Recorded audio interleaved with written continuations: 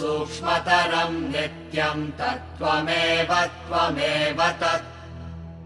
जाग्रत् स्वप्नसुषुप्त्यादिप्रपञ्चम् यत् प्रकाशते तद्ब्रह्माहमिति ज्ञात्वा सर्वबन्धैः प्रमुच्यते।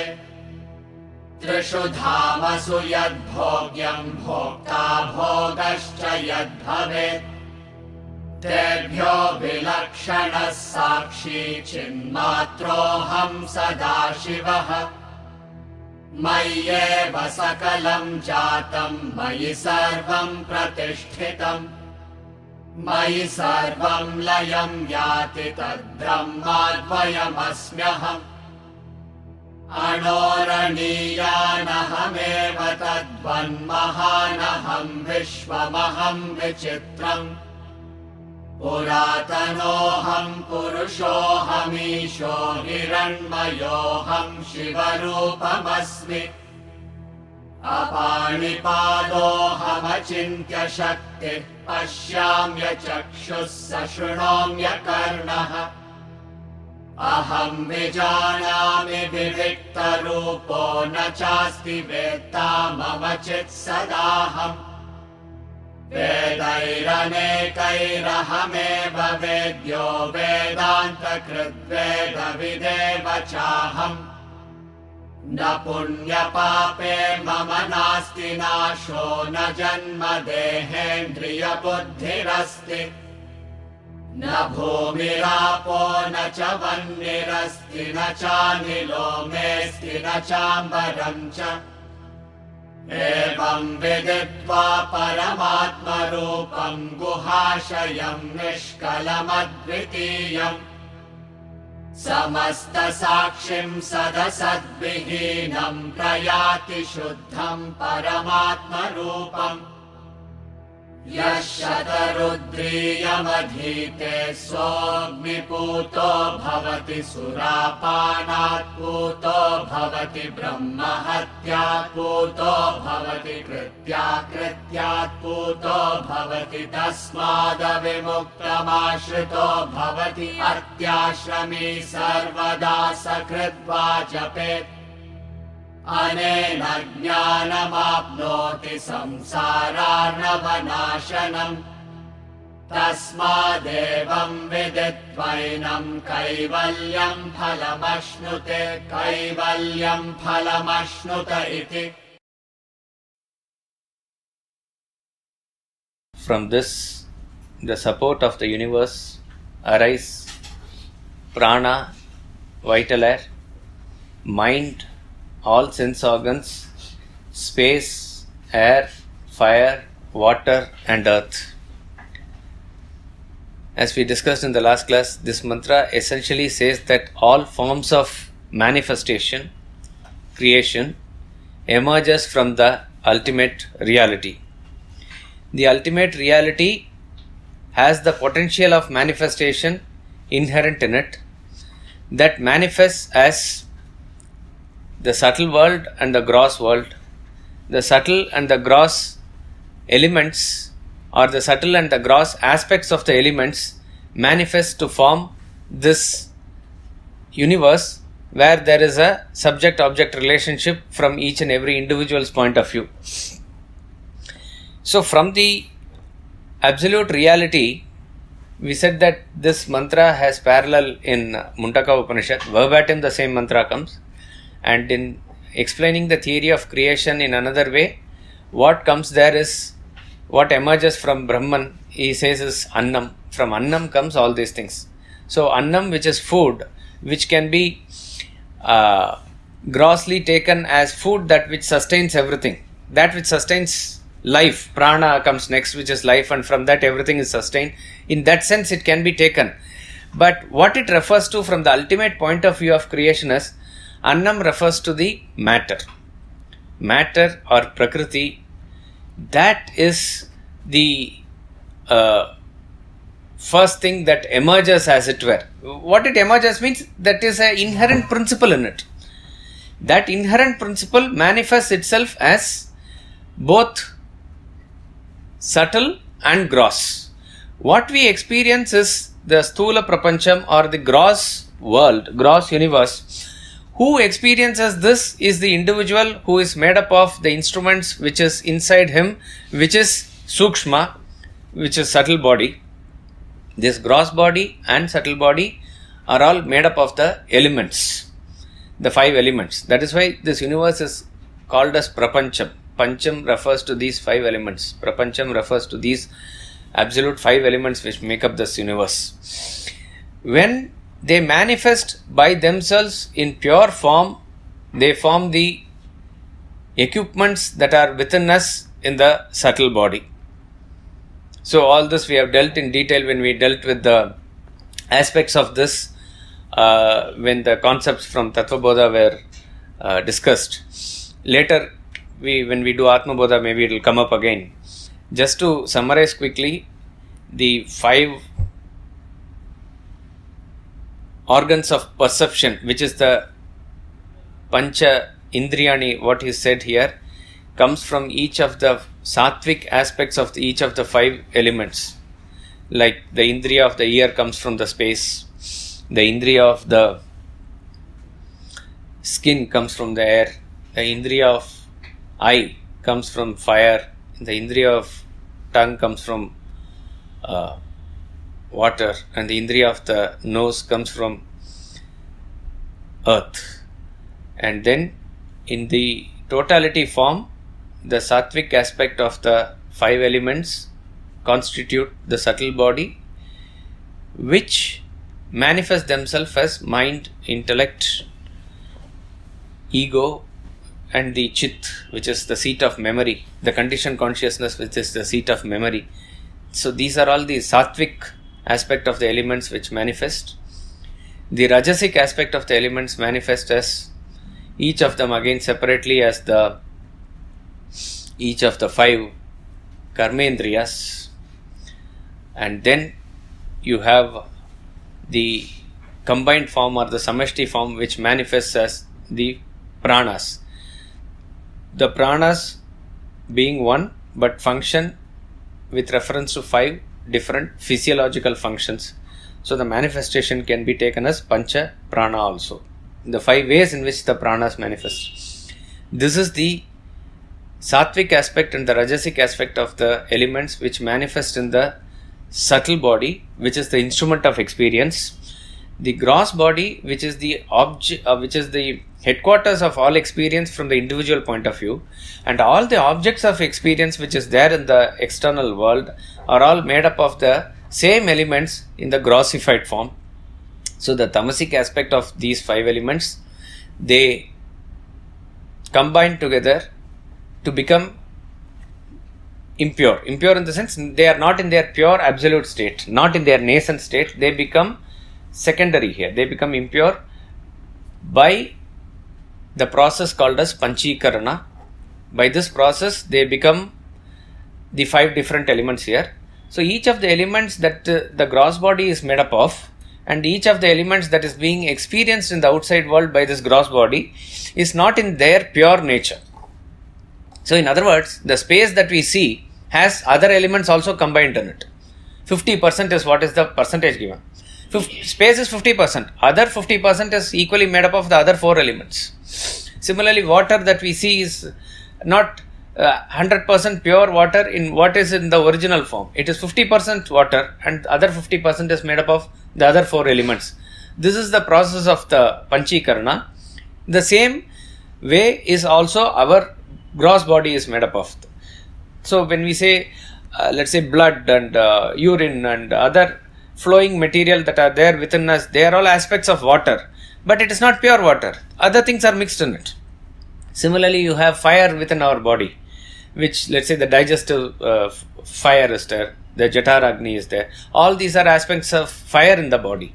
Similarly, there are aspects of air in us, aspects of space in us, aspects of solid uh, earth in us, the bone. These are the aspects of earth in it. So, all this, which is the spontaneous creation, simultaneously creating the individual and the world, constantly in touch with each other in relationship of experience, all of this emerges from that. That so the focus is not what has come out of it. The focus is from where it has come out. Etasmat jayate. He says from this everything has come. From this means from this what is described in the previous mantra as that which is the adharam, that which is the substratum, that which is the anandam, that which is the absolute bliss, akhanda bodham, that unbroken consciousness. From that arises all these things, and as we said, this mantra beautifully also captures the order or the sequence. It gives the subtle in that same sequence of from subtle to gross, prana, mana, indriya, and then in the gross also it gives in the same sequence as kham, vayu, uh, jyoti, apa, prithvi, space, air, fire, water, earth. In terms of how much ever the number of sense organs contact that also determines what is subtle and what is gross. So we said the space is the subtlest and the earth is the grossest. Also in terms of pervasiveness, in terms of pervasiveness also what pervades everything more is the subtlest. In that angle also if you see the same thing will fit in that space, air, fire, water and earth. From this the support of the universe arise prana, vital air, mind, all sense organs, space, air, fire, water, and earth. Yes, sir. In the self-realized person, all the five elements become pure. When you talk about self realized person, you are still uh, uh, visualizing or understanding with reference to personality. With reference to the absolute unmanifest reality or Brahman, See, in the previous mantra, he says, Yasmin layam yati puratrayam cha. Where everything finally goes back and gets merged. In that state, everything becomes pure. That is why we have this um, beautiful symbolism of this in a picture of uh, Hindu god Mahavishnu lying in the um, serpent, and that serpent has five hoods which are pointing towards him, as it were. Uh, so, what it means is, in that state where that is the state of that Ishvara being in his absolute way, where the the power of manifestation, the power of Maya is there, but it is there inherent, withdrawn in him, in which time all the elements which were manifest till now has also been withdrawn. So, when it is withdrawn inside, they again go back into that pure state. When they manifest outside they come back again and when then the gross thing they come to that uh, the form that we experience now. So when it goes and touches or merges back into that reality they attain that pure state again. So this is the cycle of manifestation and unmanifestation here. As far as the self-realized person is concerned he has merged with that unconditioned pure consciousness. For him there is no question of this uh, elements. There is no question of all this uh, you know, uh, manifestation, unmanifestation, creation, all these things have no direct impact or connection upon him. He has just become that pure consciousness in its purest form. That's about all. There's no other features there. From his point of view, that, again, we are saying from his point of view, he has crossed what is known as Maya.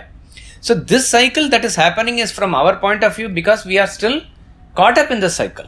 That's why it is. So, therefore, that Maya, which is all powerful entity, which is a power of Brahman, which has the capacity to manifest itself like this and which has the capacity to withdraw itself like this is inherent in Brahman.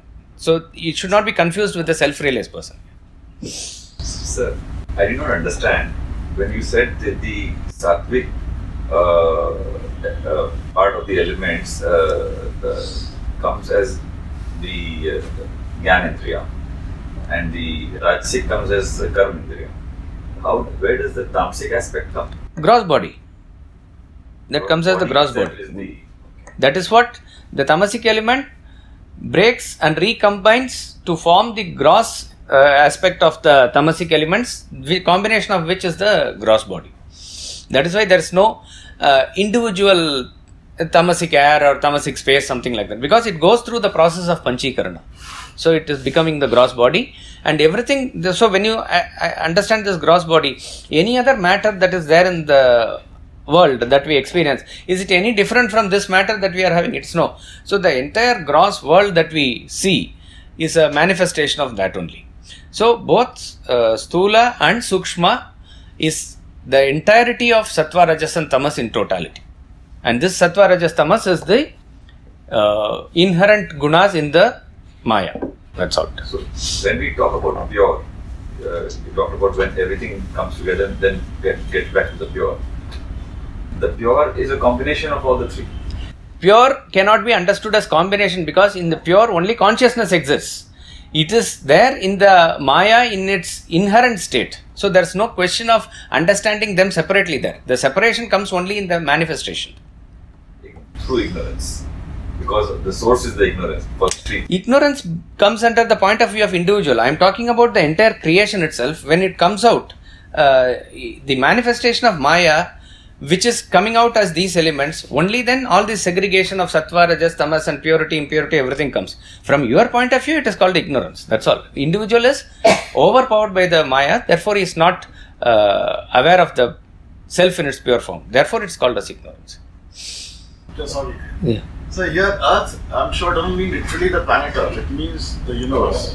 Earth means the solid aspect of what you see in the earth. What is Mars?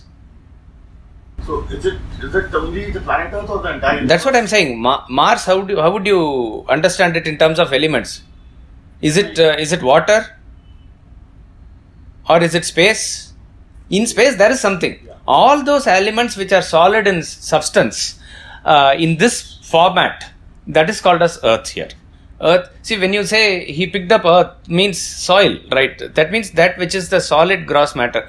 So, in general, I'm saying I'm not equating to this, uh, uh, you know, point to point with science that which is all in solid matter is earth that which is all in liquid matter is uh, water that which is all in gaseous state is air that which is all in uh, energy form is fire that which is housing all these things is the space so there is a correspondence there so all the aspects which are in that uh, solid Mass. uh, mass in a very tangible way all that is coming under earth So, so can we say that all the non-living things are only tamasic element because I mean the objects of the world like stones and all these things because they don't have uh, I think uh, prana and uh, body. So we can say that only it's only a tamasic creation apart from the In other words, when we talk about the manifestation of the entire prapancha as the uh, manifestation of the tamasic aspect of the five elements, uh, therefore, including this gross body, everything that is there is a manifestation of that. So, obviously, it is only uh, tamas. That is why it doesn't move at all. If at all you want to bring it under gunas, it has to be tamasic. Mantra 16, we'll chant twice. यत्परं ब्रह्म सर्वात्मा विश्वस्यायतनं महत्। सूक्ष्मात् सूक्ष्मतरं नित्यं तत्त्वमेव त्वमेव तत्। यत्परं ब्रह्म सर्वात्मा विश्वस्यायतनं महत्।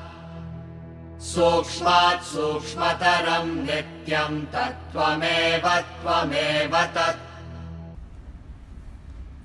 that which is supreme brahman the self in all great support of the universe subtler than the subtle eternal that alone thou art that alone thou art.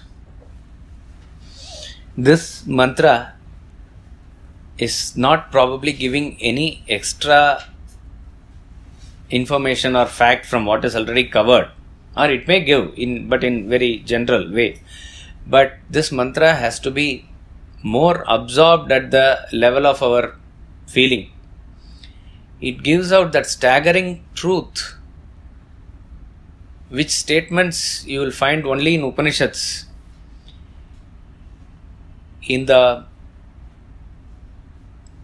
vedanta treatise the last chapter the last chapter is the culmination of the book where the author wants to emphasize the ultimate truth of Vedanta, which is that thou art Tattvamasi. Tat- Tattvamasi is considered one of the Mahavakyas. Mahavakya uh, is like a great commandment, great statement. There are very many statements in Upanishads like that, very pithy, crisp, and all these statements are directly pointing out to Brahman and with reference to the individual's unity with Brahman. Of these, the four statements are considered the most important or most authentic for whatever reason we do not know, or probably they also form the crux of each of the four Vedas after they are codified, maybe because of that also. Because in let's say uh, Taittiriya Upanishad Satyam Jnanam Anantam Brahma comes. That is also a very fabulous and oft quoted statement. It is like one of the great statements only. But these four statements are considered very powerful because uh, it is talking from the point of view of the direct definition of what that supreme Brahman or consciousness is and then how a seeker is able to relate to it and finally reach it also practice it and reach it so therefore the first statement prajnanam brahma which comes in the Aitareya Upanishad of Rigveda it talks about what exactly is Brahman. There is a Lakshana, Lakshana Vakya it is called because it is like a definition. Though Brahman cannot be defined, this is the closest or this is sort of pinpointing as to what it is that it says it is Prajnanam. It is absolute pure consciousness. Consciousness is Brahman, is the first uh, Vakya. When you say first, the order in terms of how we can proceed. So this is coming in the Aitareya Upanishad. And second is the most famous of all, which comes in the Samaveda in Chandogya Upanishad as Tattvamasi. Tattvamasi means that thou art. So this Supreme Brahman, what it is, when this statement is asked by a student to the Guru, he is giving it as a lesson, as an advice that what you are asking about that, essentially you are that. Tat Tvamasi. So exactly the same words is used here. Tat Tvameva Tvameva Tat. Before that he is giving Yat. Yat means that which is. He is giving some explanation and saying that is what you are. You are essentially that. Tat Tvameva. I don't know how we can bring it out the spirit in English. And Swamiji has you know done a wonderful job in bringing it as close as possible in English in translation. You will find in spirit both Gita and Upanishad uh, versus translation. It is as close as you can get, but certain things that you understand in Indian languages, uh, it has to be felt and absorbed that only. What do you say that in Hindi?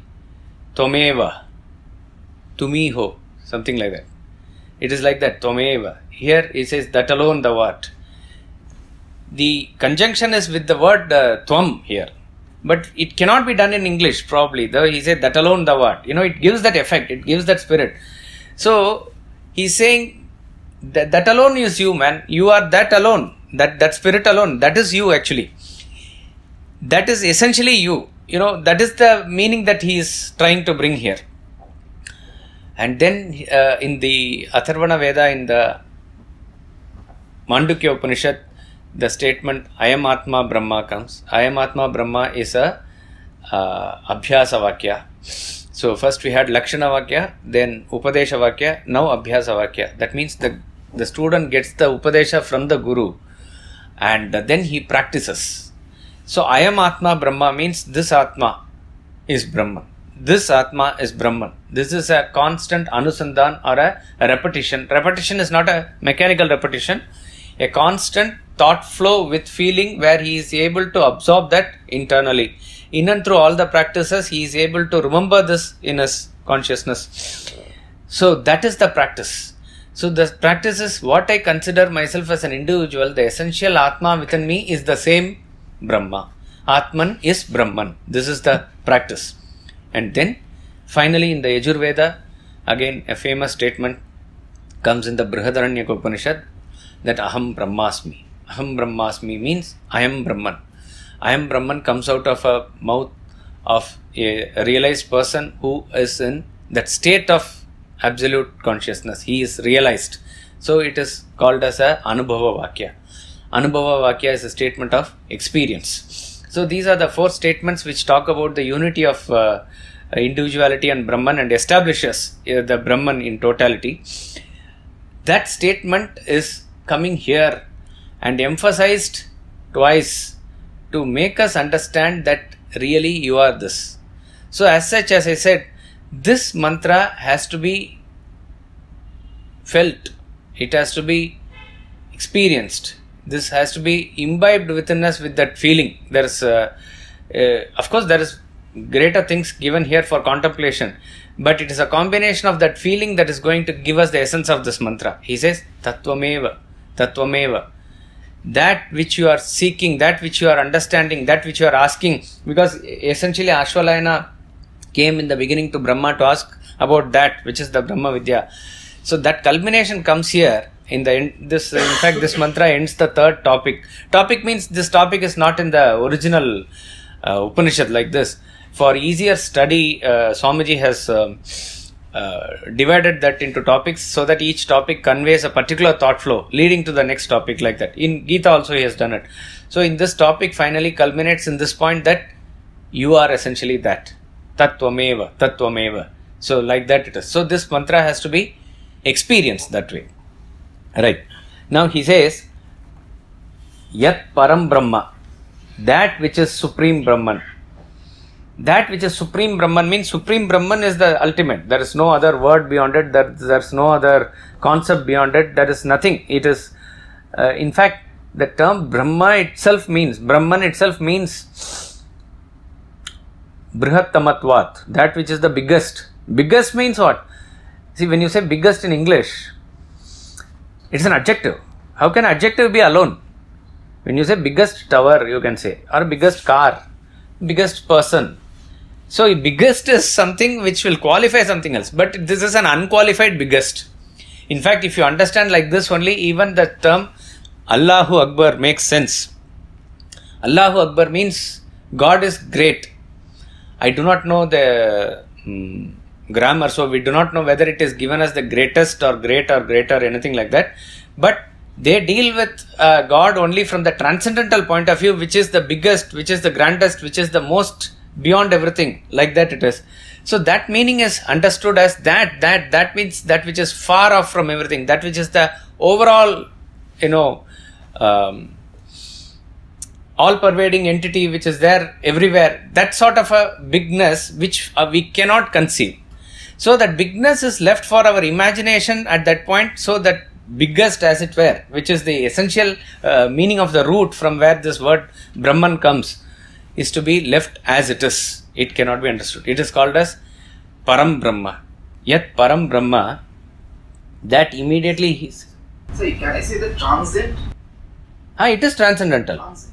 It is transcendental. But that is why it is, in our understanding, it is just not transcendental.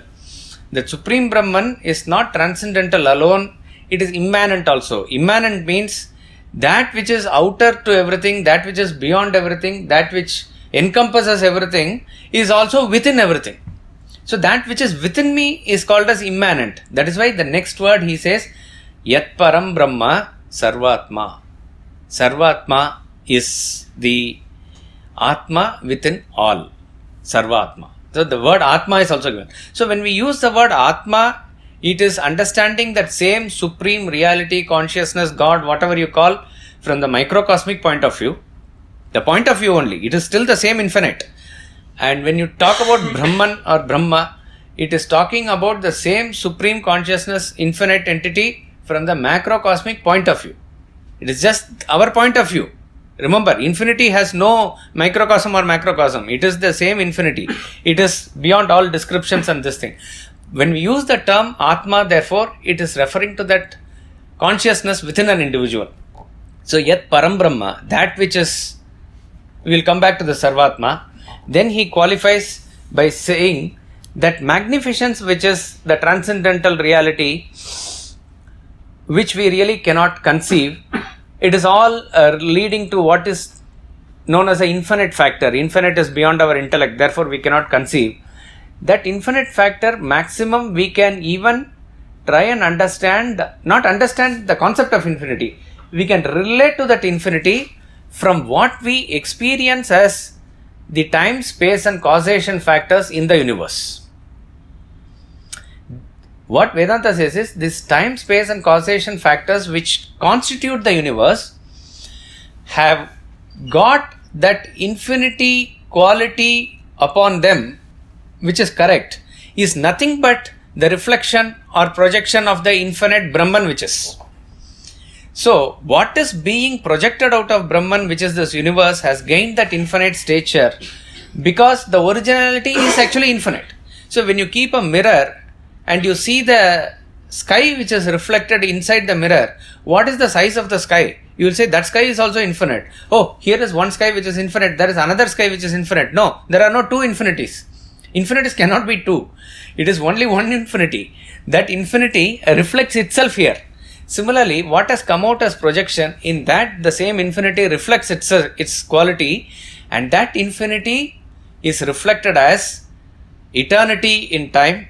Eternity means it goes forwards and backwards without any end, without any beginning, which goes as all pervasive nature in space without any end in any direction, that is, in space, and without any end to the chain of cause and effect relationship in causality.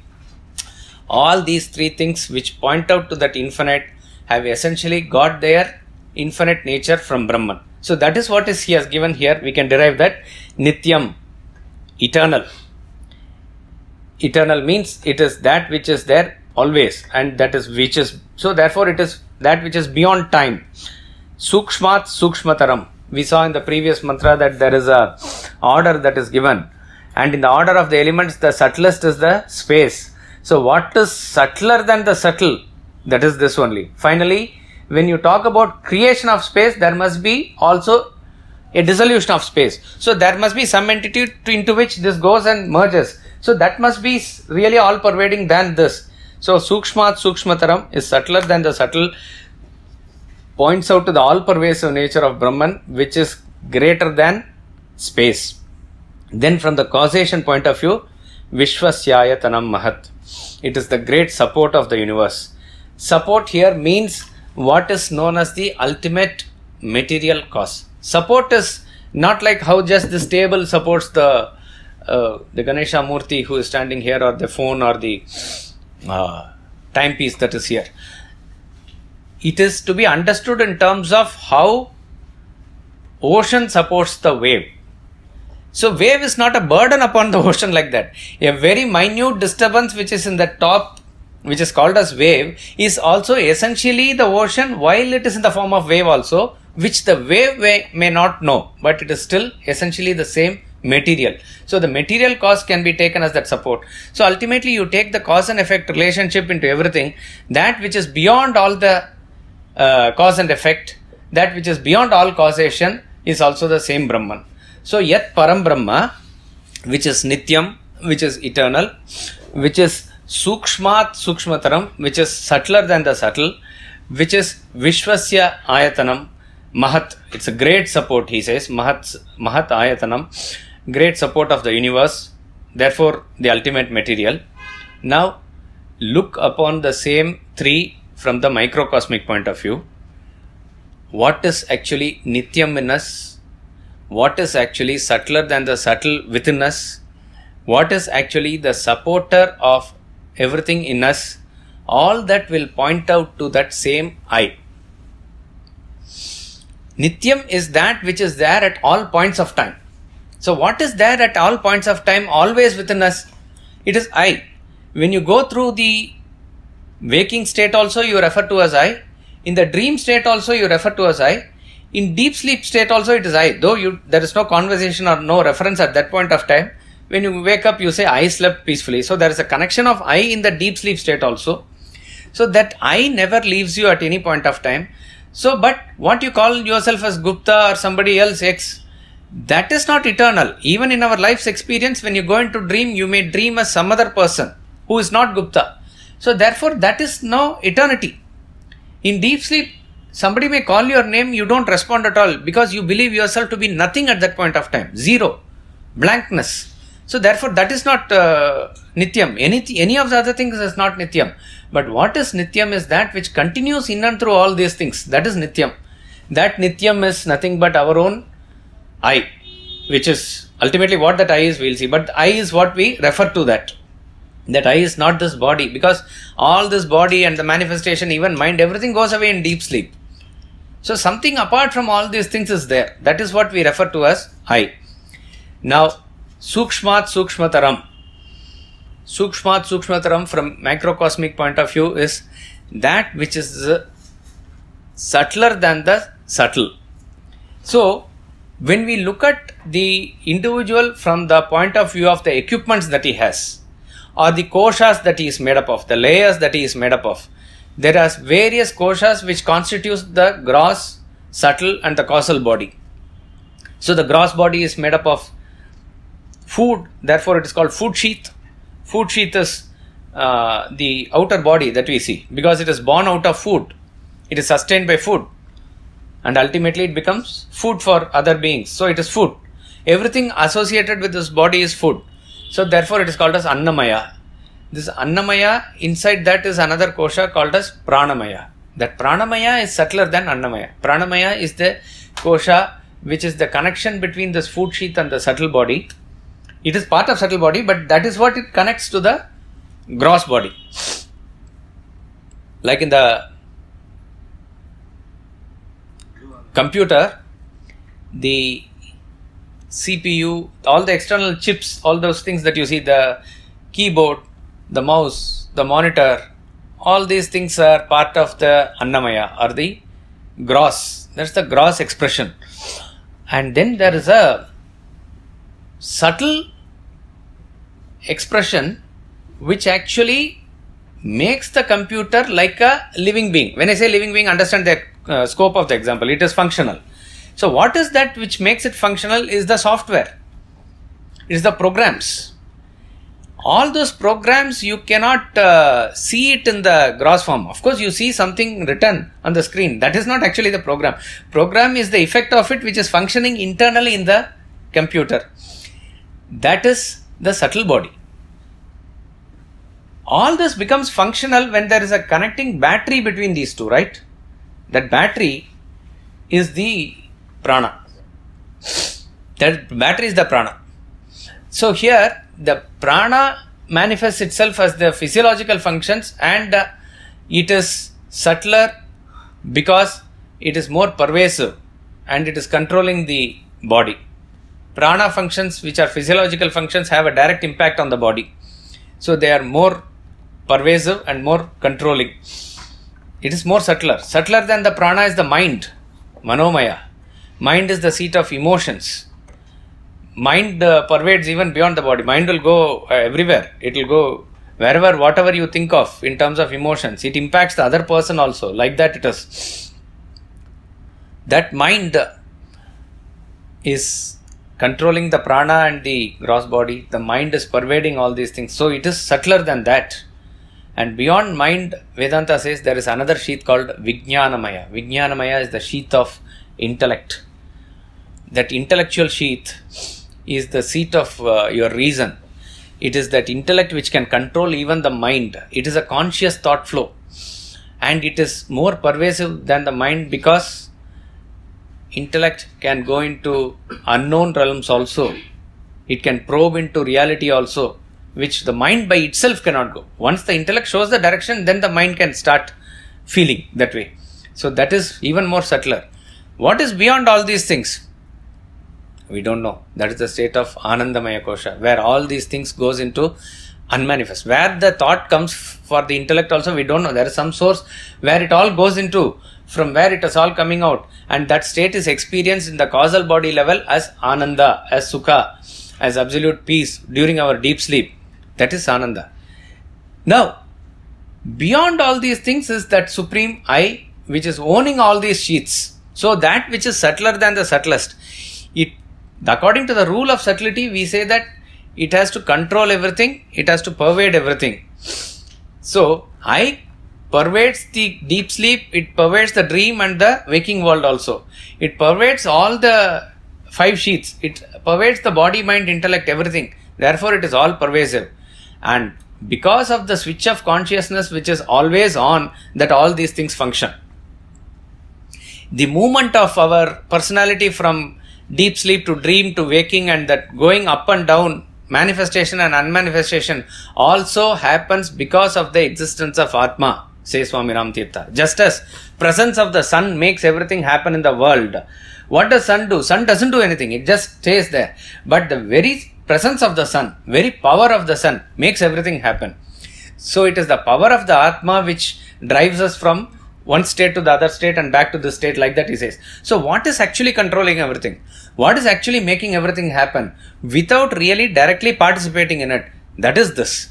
So you go in from microcosmic point of view that which is sukshmat sukshmataram is actually the same i and then he says uh, vishwasya ayatanam like adharam that supporter that supporter is also this i i in the sense um, each and everything in this universe, what he had given in the previous mantra also, one is bigger than the other, one is subtler than the other.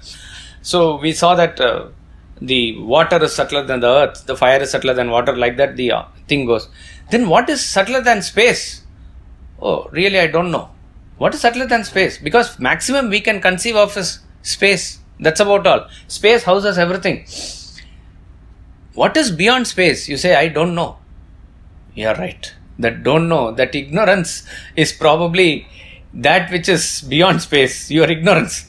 But it doesn't stop there. Ignorance is not all powerful. When you say don't know, that don't know doesn't hang in the vacant air like that. That don't know also has the base of I.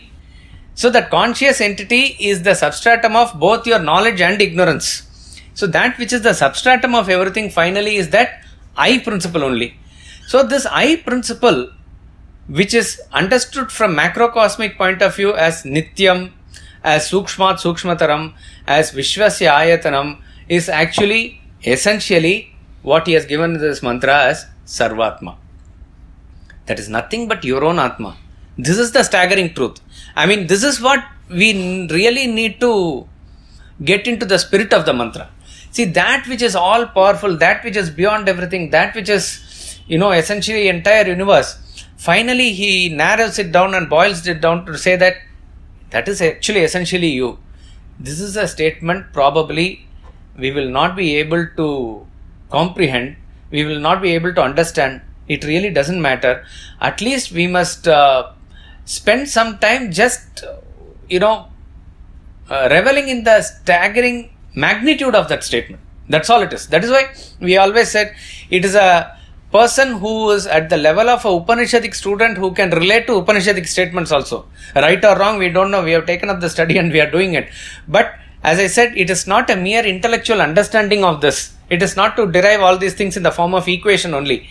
It is to get into that feeling of that uh, ashcharya, that absolute uh, state of uh, ecstasy, where he finally says, This Sarvatma, this is the Atma in each and every being, because all this which is there can be reached, can be contacted through the Atma within you. Go within yourself and find it out.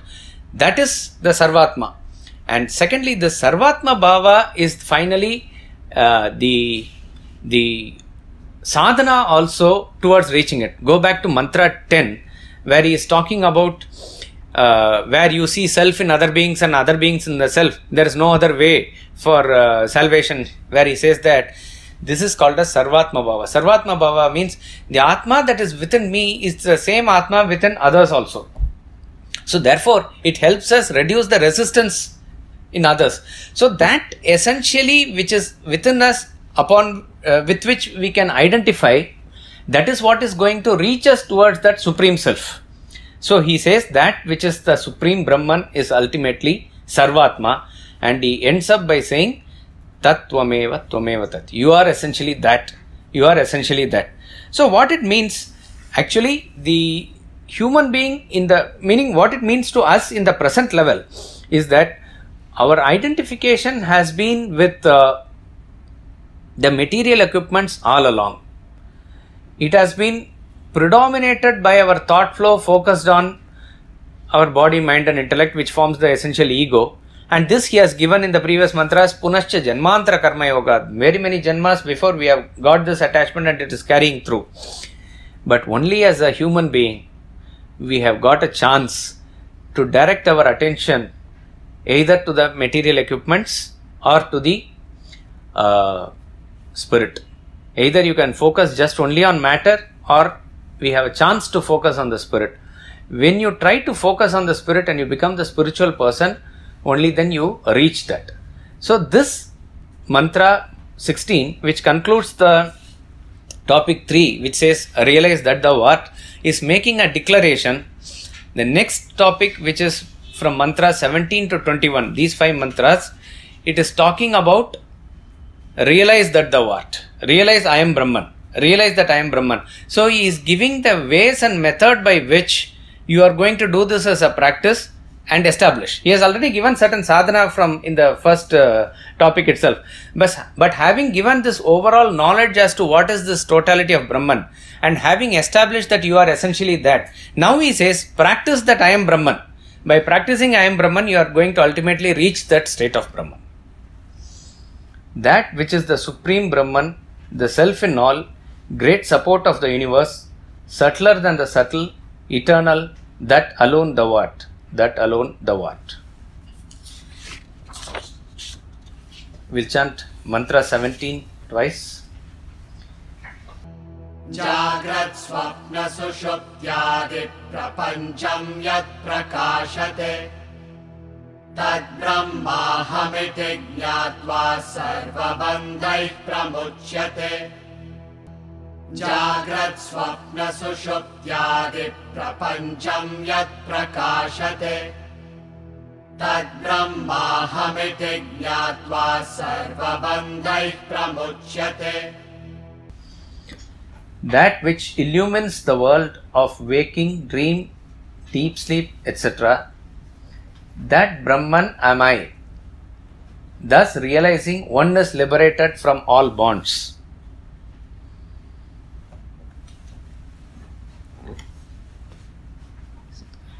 I was uh, going through the notes of uh, this mantra when Swamiji was taking Kaivalya class in our uh, cycle when we did the course in the academy. So that was in 98 or 99, 98 and or 99 it was. So he was uh, not really explaining this verse, but that one whole class he was explaining about only what uh, what we really lack. In the in, in other words in this mantra the last uh, portion says sarva bandhai pramuchyate. You are liberated from all bonds. So he says tattvamasi it's the statement is given. You are that. You are that supreme.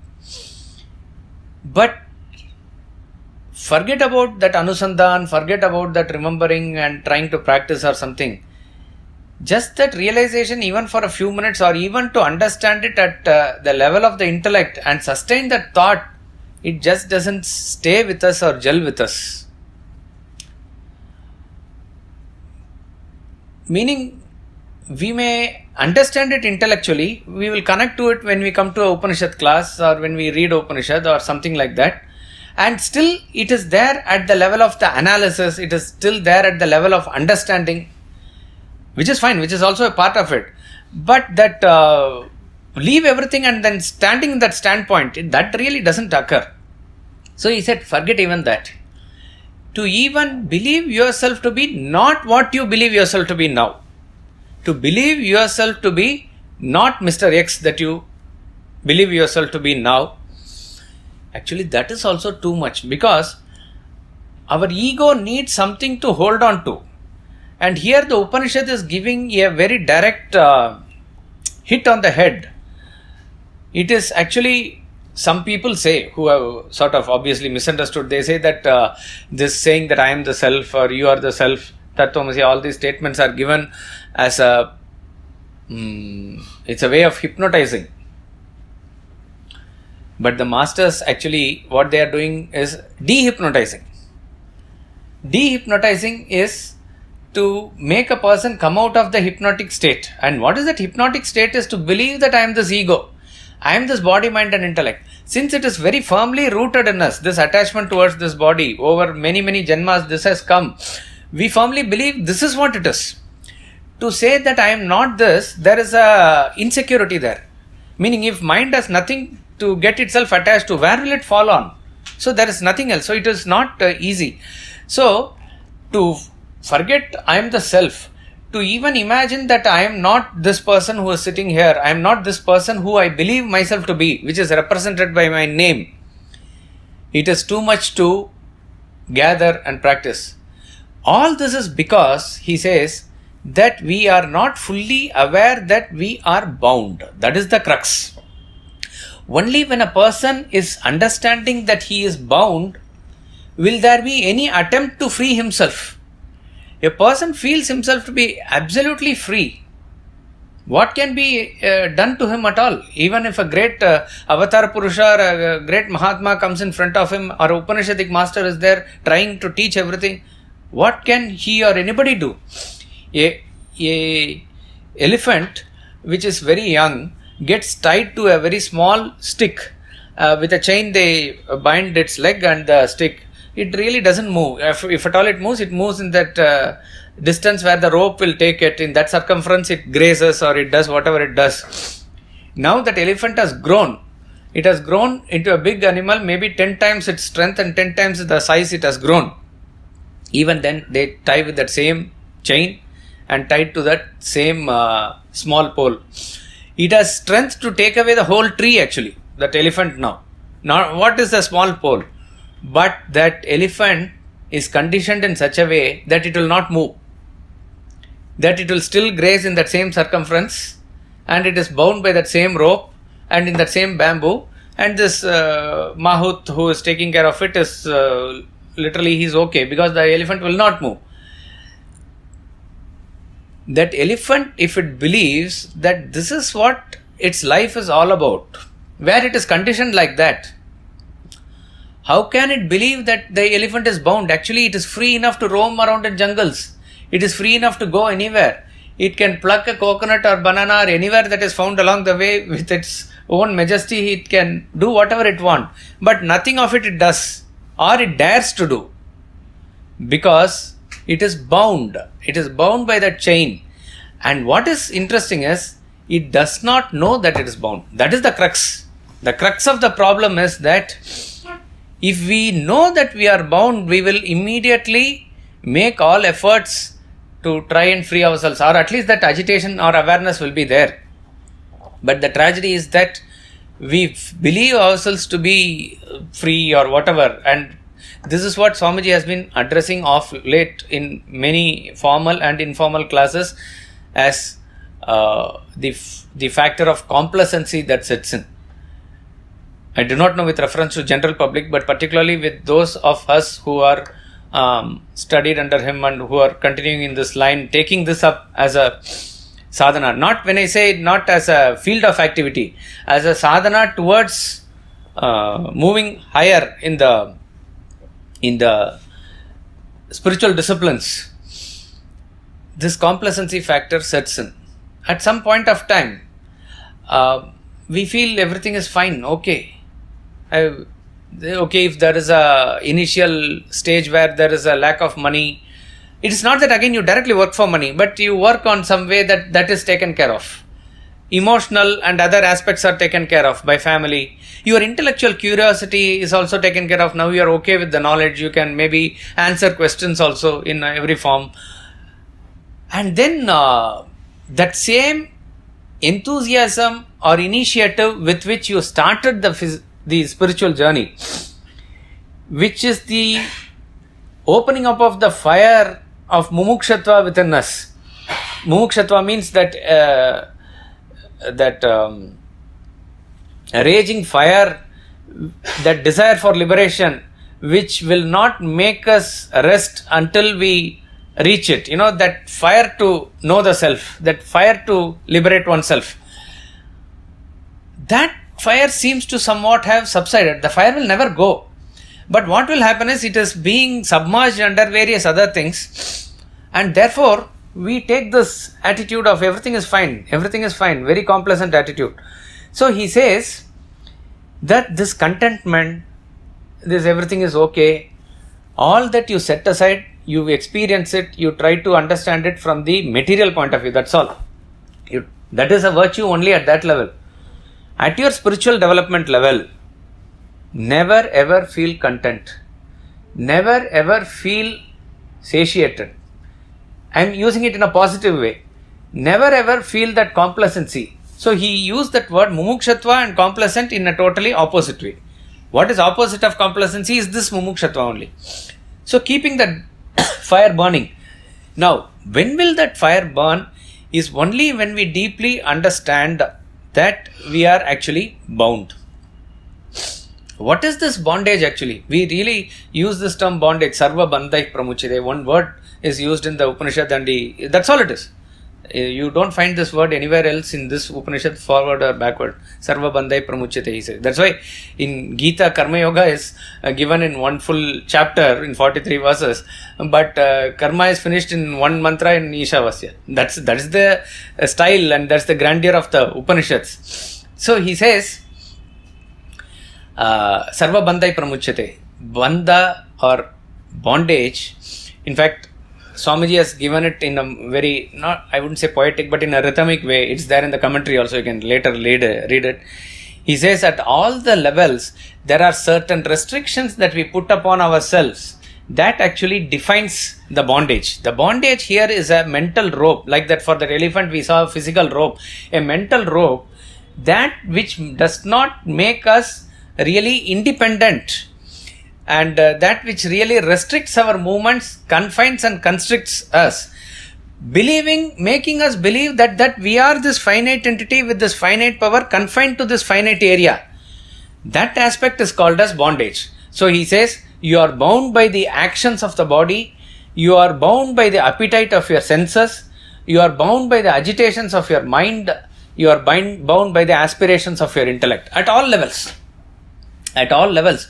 What we see at the body mind intellect every level we are bound by our own sense perceptions. See what is bound by sense perceptions? Once you get attached to a particular sense perception and it is what is playing in your mind the mind when it is tying itself with that you really have no choice to go here or there. That thought is preoccupying you in that sense.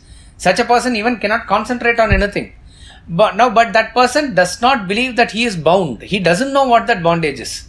Similarly we are bound to our actions. These self created duties upon ourselves which is all created by us. And uh, and also not just uh, uh, these uh, obligatory duties. We also have actions which are kamyartha which is desire ridden activities various activities like this. By doing these actions in a particular way we leave the residual factor in the attainment of that fruit of action. That tendency that we leave as a residue forms the seed for the next course of action. So helplessly we are bound to this world of action. This is karma bandha. It is bondage of action. Therefore if it is not ending in this janma we go into next janma also. That's what he says punascha janmantara karma yoga. Unison with this action so action results of action action results of action this forms a bondage so vasanas produce that action, action producing the vasanas. So there's always a stock of vasanas there. That stock of vasanas make us take new births. In that new births, we do further and further actions. So this is bondage at the action level. And Krishna says, Karyate hi avashah karma. Avashaha means helpless. Helplessly we are doing this action because the potential energy is there. What to do? You just you try to keep quiet in a place. It is just not possible. Something or the other, the gurgling thoughts will come and it will ultimately force you to do something. This is the bondage of action. Then, not to talk about emotions and the attachments at the mental level, which always create agitations. That bondage of all our stupid notions of emotions. Emotions per se is a virtue when it is directed towards the higher. The finer emotion of love is that is what is going to unite us with the self. All other emotions which cause this duality is further and further creating more and more weight upon us. So, a person who is emotionally bound is actually like uh, if you take a physical example, which Swamiji gives in public lectures also, that you bind yourself to this chair, you tie yourself with a rope to the chair that you are sitting. When you get up, the chair also gets up, but it's not a comfortable feeling. You have to bend yourself, or it's a weight that you are carrying. And similarly, you uh, bind yourself to the laptop, you bind yourself to the mobile, whatever it is, you are carrying everything all the time and going, how much of a physical pain? But what we don't realize is we are actually carrying all of them and going in the mind. That is what is a mental bondage. A invisible rope. We feel it's all thoughts, it's insubstantial. No, that is what is actually making our personality heavy. So, this is the bondage at the uh, emotional level. And the greatest bondage comes at the ideological level, which is very subtle, but it is very powerful. Very powerful in the sense the attachment or the intensity of the bondage to come over is very, very hard. You will find some persons who are attached to the ideology of communism. Even afterwards, with all their reason and understand that it is not a proper ideology in accordance with the law of nature, let's assume. Even there, then the once the groove is there in the brain made, and when the thought flow has started flowing in that direction, however much intelligent they are and they are able to understand also, they will not be able to come out of that idea be it any ideology for that matter.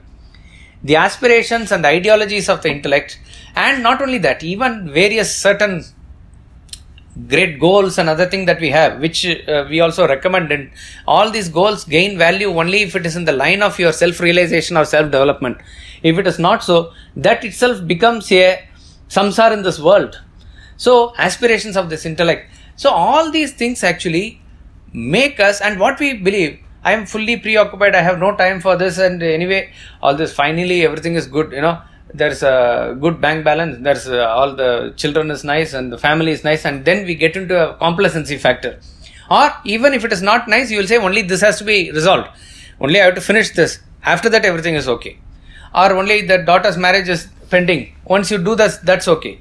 Or I have to just put up that factory. Everything is okay after that. So we feel that this needs to be adjusted and everything is okay everything is okay all our okay factor that we are talking about is at the level of the bondage of the world only which we don't realize. In other words we are being either suffering or being comfortable but we are in a very big prison. We don't realize that we are in the prison. What we see is in this prison now i have got all facilities I've got I can see TV whatever I want whatever time. I've given I've been given all facilities. Maybe my, I can stay with my family and I have a separate swimming pool. All the facilities suppose you are given and you are enjoying and being comfortable there. But ultimately one day when you come to know with all these facilities also you are bound in a very big wall. That is the time we realize that I really do not belong to here. From that day if you realize it deeply you will not be able to relish and enjoy whatever has been provided to you. Your only thought will be that how I will get out of this. That is the thought that will, because it is not that I'm perfectly okay, you know, everything is comfortable. I'll just end with the episode from Mahabharata. Dhritarashtra was extremely attached to the Kauravas, particularly Duryodhana, and uh, it was a, of course, uh, because of his attachment and everything only this happened but at the end of the war you can understand such an attached person has has uh, lost all his hundred sons So he's in an extreme state of uh, anger, fear, uh, you know, despair, and uh, sorrow, everything. In that phase only, outwardly he is showing a smile towards the Pandavas and he is asking Bhima to come so that he can embrace him. And Krishna sees the intention of Dhritarashtra. Duryodhana had already made a statue of Bhima which he was practicing his uh, gada to hit him. So that statue was there. So Krishna pushes the statue instead of Bhima because Dhritarashtra is blind and he gives an embrace and that uh, statue breaks into pieces. Such is the power of Dhritarashtra actually. And then he uh, repents and cries, but he says, "I had my anger had overpowered me." Then Krishna understood he has come back to his normal senses, and he says, um, "This is not real Bhima. I knew your intentions, therefore I sent uh, the statue of Bhima. Uh, now you can embrace real Bhima." And then they get along very well. Then what happens is that Dhritarashtra is well taken care by the Pandavas. And after a while, after a few years, Vidura is uh, inquiring with Dhritarashtra as to how his uh, life is going on. Dhritarashtra is saying, everything is fine. Even more than my own sons, these Pandavas are taking care of me.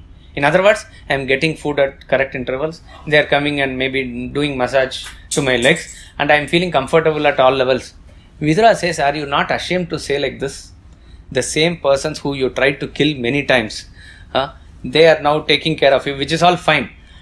But at what point of time that you are going to understand uh, and uh, sort of think what is beyond this life? Dhritarashtra is suddenly woken up. That is the last phase of his, uh, then the last phase of his life come. Then only he understands what is it I am doing. I was all the time, all my life, I was fighting for the right. I had attachment towards the kingdom, which I didn't get because of the blindness. Pandu got it. Then his sons got. Then I, my sons also got, and the partition, everything happened. But there's attachment towards the kingdom and attachment towards the son. All this was going on, and now what I feel, everything is all right, and I am feeling okay with this. Then there's a sharp hitting on the head by this Vidura's words that what are you really doing? Is this all life all about? Then what will happen? Even if after Pandavas go, probably uh, the next generation they will come and you will happily live like this. Is there not nothing more to life? Then only he realizes. He goes to forest in uh, both he, Gandhari and Kunti, they all go. In renunciation they go. Meaning they take up the higher values. So this is what is meant by uh, this complacency. Again, we can understand, but when it comes to our own life, we need to understand this. We can, you know, we have this duty of grandson, we have the duty of building a house, we have duty this, this, that, everything. Actually, it's a never ending cycle which will always keep us bound. There is never, never going to be a, a redemption. So, when are we going to release ourselves? That releasing aspect can come, or the thought of it can come only when we understand the depth of our bondage. Only when we understand that we are deep down in the gutters, then we understand I must get out and cleanse myself. If I am like a pig, comfortable in the life of the gutters, it is just like that. That's about all. So, this was what uh, Swamiji was telling us in that class. So, uh, Upanishad, we can have even great commentaries and we can have the meaning, but what it is trying to convey is this that which uh, illumines the world of waking dream and deep sleep, that Brahman am I. Thus realizing one is liberated from the bonds. So, how he is re- liberated from the bonds is given in the mantra. But the prerequisite for that is we have to understand that we are bound. We'll continue in this class. More Paramarshika. Yeah. Uh, regarding the complacency factor, the scriptures also say that we have a sense of gratitude towards what you have got. So if you have a sense of gratitude, like on Bhakti Marg it says uh, that, God has given so much thing and all. If you have a sense of gratitude against the uh, provider, then it automatically points towards that uh, complacency? In fact, examine your own statement. It is against that complacency. Correct. Against means the moment you say, I am, you have provided me so far, thank you. That means you are absolutely, now the focus is shifting from what you have got to who has given this. So, therefore, that supreme entity who has given this, if your focus turns towards that, then you are, uh, in other words, that infinite has provided you certain finite things. Now your focus is towards that getting that infinity itself. So therefore, the whole thing changes towards that.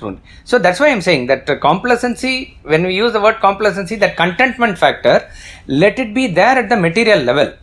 It is a virtue and it must be there. But at the spiritual level, you should never be complacent till you get that infinite. Because because all the provision, whatever you get, is going to be only finite. But I am not satisfied till I get that infinite thing. That is the factor. Yeah. So does guilt come in first or complacency? Because guilt again works against you know uh, the the strong desire that that feeling comes on the moment you start having the guilt feeling. So that again becomes a challenge. No, no. Why are you bringing in guilt here? What, what is, when do you get a guilt? Because then you start realizing all your drawback. No, no. What is defined when you when you get that guilt? What is that feeling that you are talking about as guilt? So when you start uh, walking on this journey, so obviously you start realizing all your drawback, which you said several times when you clean up the gutters, Hmm. comes in first. So Correct, correct. that reduces your Ha, no, that will not reduce the mumukshatva. You cannot dwell on that more. See, the past has, it will come out. The When you purge, all the negativities will come out. That is when we say that you need to have that objectivity. In fact, this mantra and the next mantra, they, he is going to clearly talk about that objectivity only. Objectivity is to keep that negativity not affecting you. So therefore, past is past that you cannot do anything. Uh, at the same time, you have learned certain lessons. Then move ahead with it. So that will not uh, hamper the mumukshatva. In fact, when you have that uh, feeling that my past has been like this and I am bound because of that, let me at least not do anything from now on to get myself more entangled. That will keep that mumukshatva burning even more as such. We'll conclude with the bhajans here.